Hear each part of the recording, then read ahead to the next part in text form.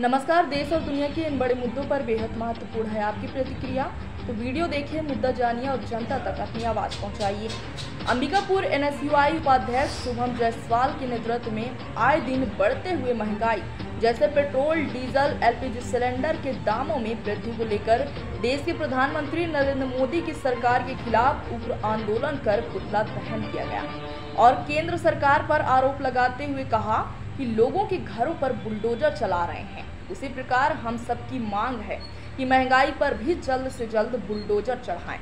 जनता को इस महँगाई से राहत दिलाएँ। पुतला दहन के दौरान एनएसयूआई के कार्यकर्ता बड़ी संख्या में आज हमारे देश के प्रधानमंत्री नरेंद्र मोदी जी का पुतला दहन कर कर एनएसवाई ने यहाँ विरोध जताया है। जिस प्रकार देश में आए दिन पेट्रोल डीजल एलपीजी सिलेंडरों के दामों में वृद्धि हो रही है उसको लेकर आज एनएसवाई के द्वारा उग्र प्रदर्शन किया गया है और ये जताया गया है कि जिस प्रकार आम जनता हताश है इस महँगाई पर नाराज़ है जिस प्रकार दो साल से कोरोना की मार चली उसके बाद आप लोगों ने इस प्रकार की महँगाई बढ़ाई है। हर एक आम आदमी हर एक जनता परेशान है आपकी महँगाई से।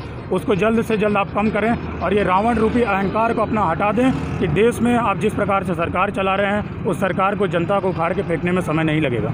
राज्य सरकार सरकार सत्रह परसेंट जी लेती है पेट्रोल डीजलों में और केंद्र सरकार सैंतीस रुपये लेती है। तो हमारी ये मांग है कि जो सैंतीस रुपये का जो और ये उन्नीस रुपये सत्रह रुपये का जो डिफरेंस है उसको कम करें। पाँच रुपये भी वेट अगर कम करती है केंद्र सरकार तो आम जनता को बहुत राहत पहुँचेगी।